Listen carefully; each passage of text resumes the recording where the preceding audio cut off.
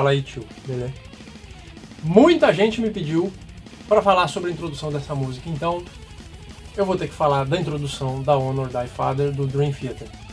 Muito importante também, eu acabei decidindo fazer esse vídeo porque nos comentários abaixo dos vídeos que eu posto tinha muita gente querendo saber da introdução dela. Então, se você quer saber algo sobre bateria, algo que eu possa ajudar, deixa nos comentários abaixo que os mais votados provavelmente serão os próximos escolhidos. Beleza? Não esquece de deixar então o seu comentário pedindo alguma coisa do qual talvez eu possa ajudar, certo? Outra coisa muito importante antes da gente começar, que o assunto vai ser muito louco, eu tenho cursos online, tanto para pedal duplo quanto para mãos, certo? Técnicas, desenvolvimento de velocidade, grooves, viradas, aí partes faladas das mãos, enfim, tá tudo na descrição no link que está abaixo ou em algum lugar aparecendo aí para você. E se você tiver interesse, dá uma olhada lá. Mas dá uma olhada só depois que o vídeo acabar, porque esse assunto vai ser muito louco, como eu já falei. E se você não quiser olhar, é só não clicar no link. Beleza? Vamos lá. Essa intro ela é bem grande, então eu decidi fazer em seis partes diferentes, separadas, para depois a gente juntar tudo. E sem mais delongas, na parte 1 a gente vai trabalhar em sextina o sistema 4 e 2. O que é sistema 4 e 2? Quatro mãos e dois pés. Se você não sabe fazer isso ou se você não é tão preciso, e aí já vem uma dica, caso você não saiba se é preciso ou não e queira saber, se filma fazendo que aí você vai descobrir, vai ficar bem mais fácil perceber se você está fazendo bem ou se está uma merda e você precisa treinar mais.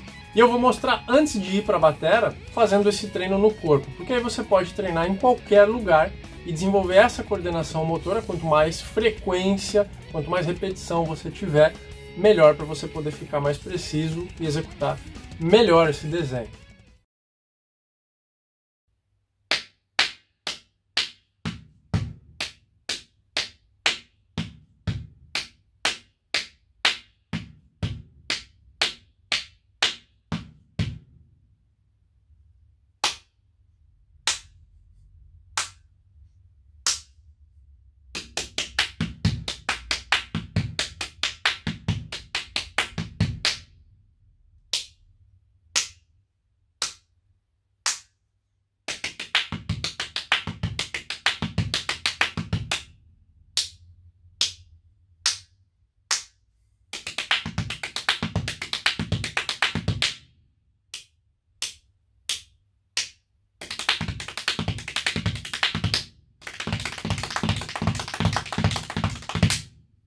Simples, né? Agora, a gente vai fazer de novo a primeira parte, sistema 4 e 2, só que já na bateria. E esse desenho do qual eu vou colocar na bateria já é com a distribuição das peças certas, como foi gravada na música. Dá uma olhada.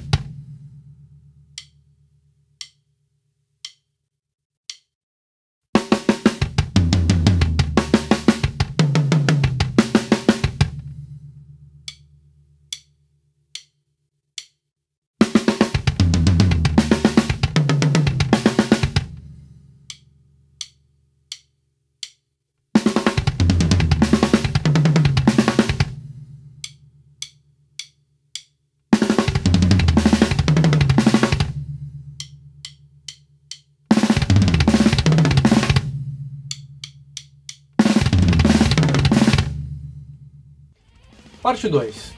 Essa é a parte provavelmente mais louca, mais diferente do qual o Portnoy criou e provavelmente a mais legal da introdução dessa música. E é o sistema 2 e 2, duas mãos, dois pés. Simples. Só que a forma como foi encaixada é que fica muito louca, vai ficar legal pra caramba também. Então, antes da gente levar para a batera, vou mostrar de novo no corpo para você estudar. Dá uma olhada.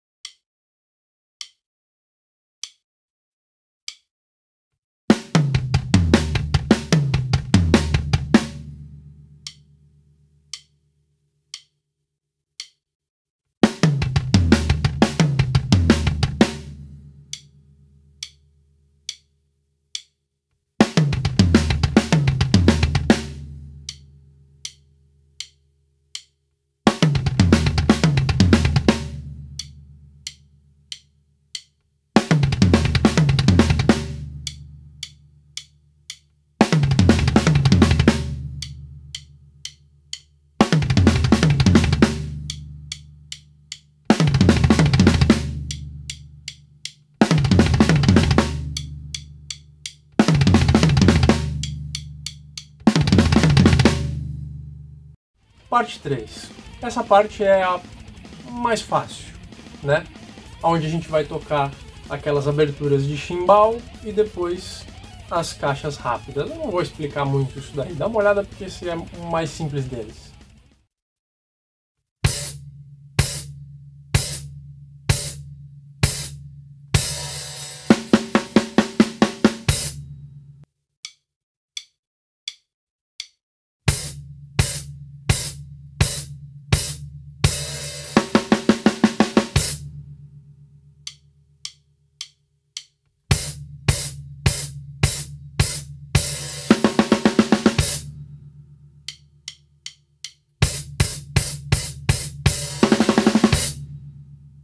Parte 4.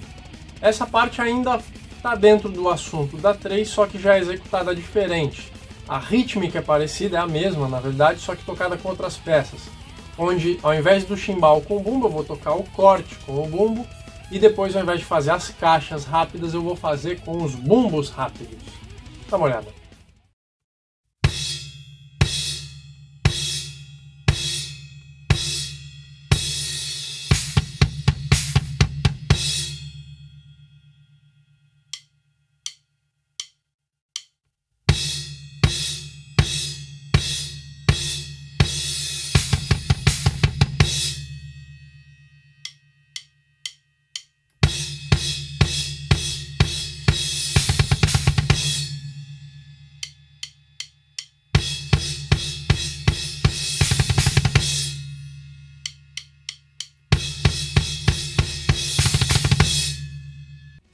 Parte 5. Agora, nessa parte da introdução, a gente vai falar de dinâmica. Tem acentuações trabalhadas aí. Dentro do meu curso online, que tem o link abaixo, eu falo muito sobre acentuação e dinâmica, beleza? Mas voltando, foco. Nessa parte a gente vai trabalhar acentuação. Dá uma olhada.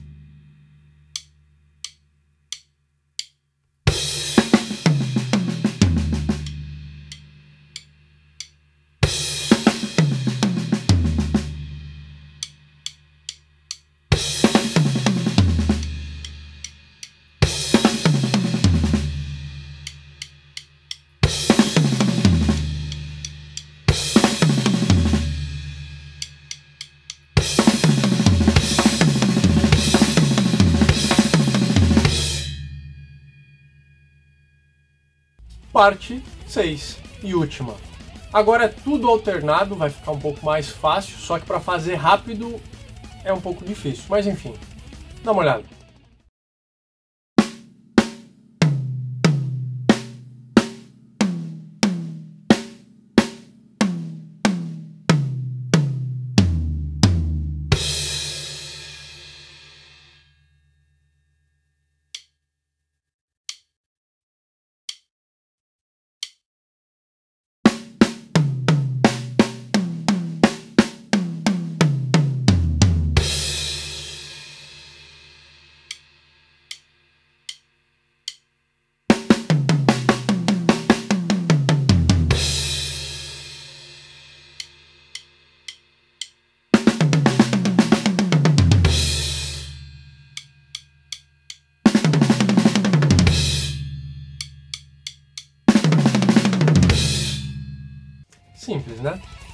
Agora eu vou tocar a virada inteira, uma velocidade lenta ainda para você poder digerir ela inteira, né, a intro toda, e depois eu vou fazer uma velocidade um pouco mais rápida até chegar na velocidade original.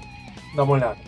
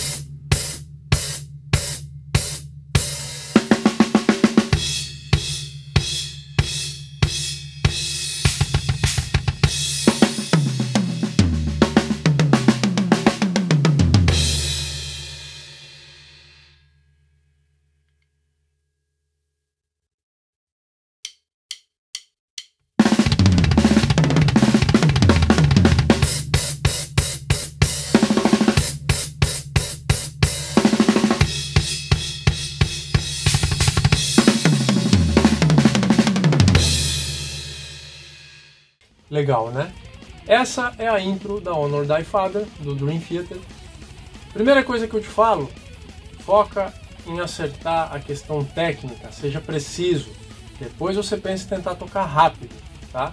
Você me vê fazendo essa virada rápida, né, conseguindo tocar com uma certa facilidade, mas porque eu tive que suar a tanga durante muito tempo para conseguir fazer isso, tá?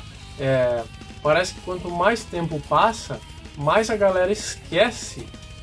Na verdade, não é nem esquece, parece que nem sabe que para a gente desenvolver memória muscular, para a gente aprender a fazer essas coisas bem, a gente tem que repetir. Não adianta você querer sair correndo porque você vai se frustrar.